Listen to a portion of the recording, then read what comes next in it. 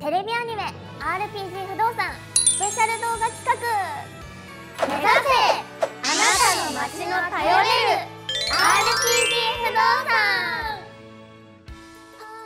皆さんこんにちは。テレビアニメ RPG 不動産風色琴音役の井上ほのかです。こんにちはファー役の篠ひなです。皆さんこんにちは。ルフリア役の河合夏美です。皆さんこんにちはラキラ役の岩見真中です私たちが演じる琴音ファールフリアラキラは王国所属の RPG 不動産という不動産屋さんで働いています。ここには様々な事情を抱えたお客様がいらっしゃいます。彼女たちが一日も早く頼れる街の不動産屋さんになるべく私たち4人も見習いとして立派な不動産屋さんスタッフになれるようにいろいろなことに挑戦していきたいと思います。今回も私たちは不動産業界常識クイズに挑戦します。はい。そろそろね私たちも本物の不動産屋さんに近づいてきたんじゃないかな。えでもこ半分からこっちは、ね、そう半分からこっちはちょっと徐々に ありがとう言ってくれて。なんか言われてるよ。ねえ。もうマックスボックスでもね。引きずるね。悔しい。でも便利そうだもんねそう。マックスボックスの方が、うん。今回も頑張って正解をしていきましょう。はい。問題。徒歩まるまる分は80メートルを1分と換算しています。えそうそう。80メートルを1分で歩けるのはどんな人でしょうか？えこれこれこれ有名じゃないどんな人えこれ有名だよ有名な人うんそうこれ超有名だよ超有名なの本当に知ってるうんじゃ何それあ書いていこううんえ人全員ってこと？80メートル1分で歩80いメートル1分で歩ける。これ絶対正解法。え平均ってどのぐらいなんだろう？わかんない。10メートル自え分どんぐらいで歩けるんだろう。えなんか小学生の頃習わなかった？ええ習わなえ常識みたいな？え数学とか算数の授業？え？うーんなんか生活みたいな。え生活？ええなのかなえこんな人しか多分僕の地元では超有名。そうなんだ。もうみんな知ってるよ。楽勝だよ。書けました。はい書けまし書けたかな？たはい書けまし書けた。ましたか？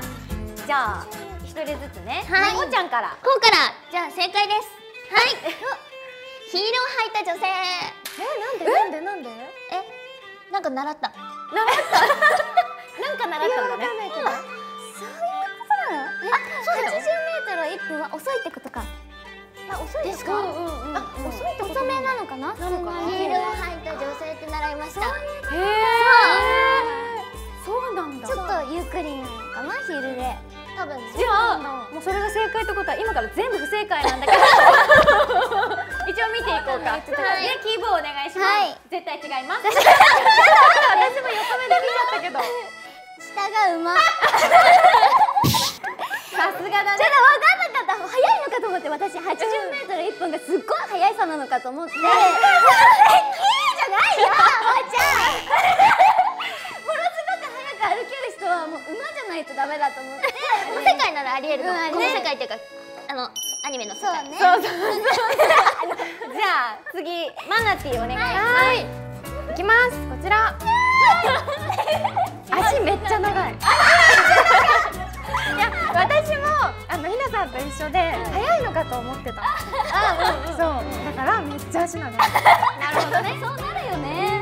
リーチがね、あるってことだね。なるほど。違うんだ。違う。これはこれも違う。じゃあ一応違うけど見てくれる、こういう人。早い。早い早い。早歩きの人。メンタル早い人。メンタルが早い。気持ち。気持ち早めに。なんか東東京の人って早歩きうん言うね気がするからなんかそういう感じなのかな。どんな人っていうとこうやって早歩きの人？早歩きの人せっかちさん。せっかちさん。そうそうだねでもさそれ平均にしちゃうとさ普通のね速度で歩く人ちょっと不利だよね。不利だよね。なんか私聞いたことあるのが、徒歩何分っていうのは例えば駅から家までの直線距離ってなんか聞いたの。だから実際に歩いてみると意外と遠いみたいなのを聞いたことあったからそれが問題になるのかと思ったらな人だもんね。知らないたらもうこういう人になっちゃいますよ。なっちゃうなっちゃいますよ まあちょっとねせ不正解なの分かってるんですけど正解見てみましょうか。さあ当たるよ。どうでしょうか？もうなんかちょっと長文ですよ。はいそんなに本当に？答え。ヒールを履いた女性。す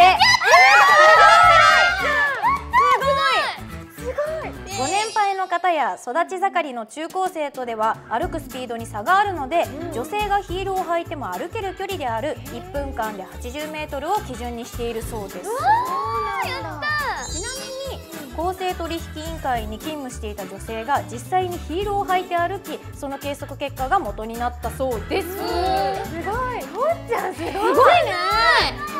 そうやっぱちゃんと習ってたそうたことなかった。小学校で習うよ。今まで見たことないからドヤ顔してた。そう。ね、ぜひあのカメラ目線でそのドヤ顔を。嫌だよ。ね、いやなんかどんどん難しくなってない？いやね、下が馬とか。さ、下が馬よもうもう内緒 皆さんとの内緒ですからね。他で言っちゃダメですからね。はいということで不動産業界常識クイズに挑戦しました。また見てくださいね。